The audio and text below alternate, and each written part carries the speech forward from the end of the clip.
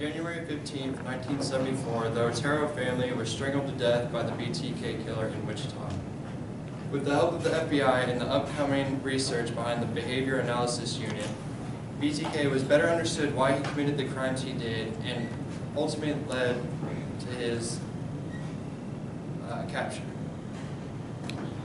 Today I will inform you about what the FBI is, what the Behavioral Analysis Unit is, and why this information is uh, beneficial to you.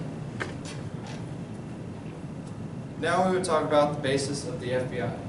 Their motto, according to the FBI manual on their website, is to protect the American people and to uphold the Constitution of the United States. Founded in 1908, the FBI was created to help smaller authorities when needed and catch criminals who are fugitive and on the run.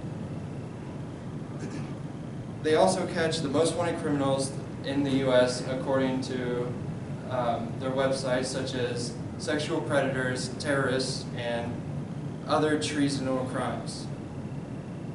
The FBI's latest budget was $8.5 billion to afford 35,000 employees in 56 major city field offices, as well as 60 international offices. With fidelity, bravery, and integrity, the FBI catch the most wanted to help our community and nation feel safe.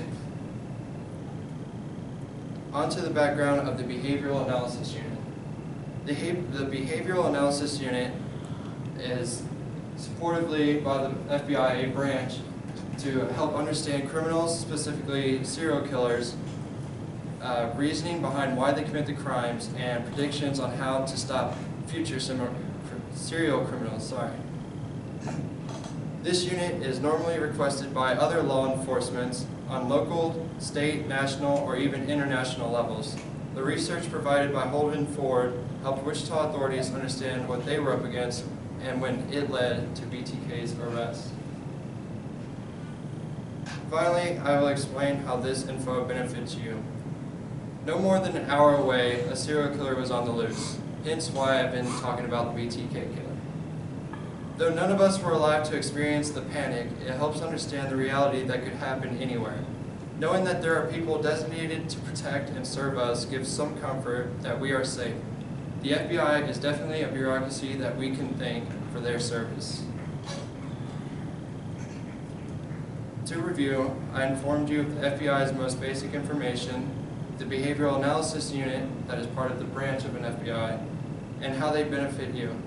So next time you feel unsafe or in harm, just know that there are people who have taken an oath to protect you. Or if you're watching an episode of Criminal Minds, you will know a little bit more about their job. Thank you.